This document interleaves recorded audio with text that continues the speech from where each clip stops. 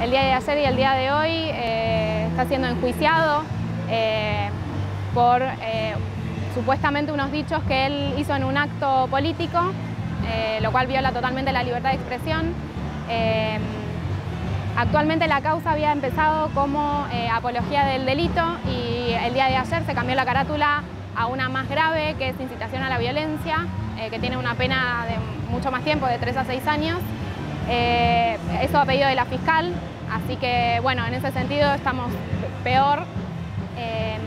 la audiencia del día de ayer se transcurrió con normalidad, declararon varios testigos y el día de hoy eh, también había testigos y actualmente estamos en un cuarto intermedio esperando a ver si podemos obtener hoy la, sentencia o si se va a alargar todavía más. Y la realidad es que es una, una causa que está armada a partir de una tapa de un diario, por lo tanto eh, lógicamente nosotros pensamos que al,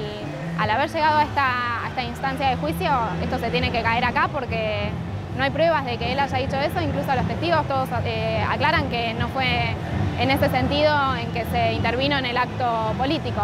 Por lo tanto, eh, esperamos que la resolución sea, sea buena, pero nunca se sabe. Podemos esperar cualquier cosa porque la justicia hoy en día es una justicia que no está actuando independientemente eh, incluso el fiscal que radica la denuncia es un fiscal que está, eh, que libremente dice que es militante del PRO, así que, bueno, eh, podemos esperar cualquier cosa. Él estaba preso hace un año y siete meses en la cárcel de Marcos Paz, así que, bueno, transitando la prisión preventiva, una prisión preventiva ilegal, por supuesto, porque viola el principio de inocencia, la igualdad ante la ley y demás. Eh, respecto a esto, está muy firme, muy agradecido por la solidaridad que, hemos eh, podido lograr a través del Foro por la Democracia y la Libertad de los Presos Políticos. Eh, y bueno, también expectante para ver qué, pasará en, las próximas horas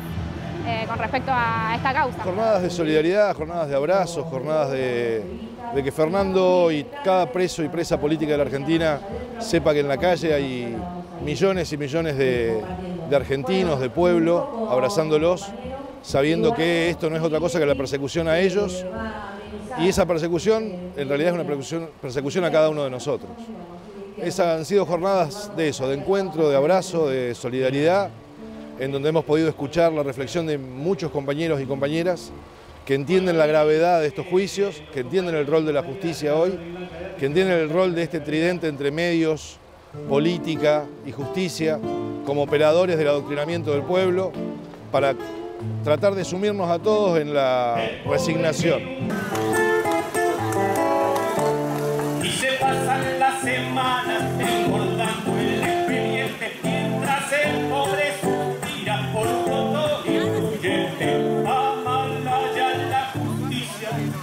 caiu, sabe?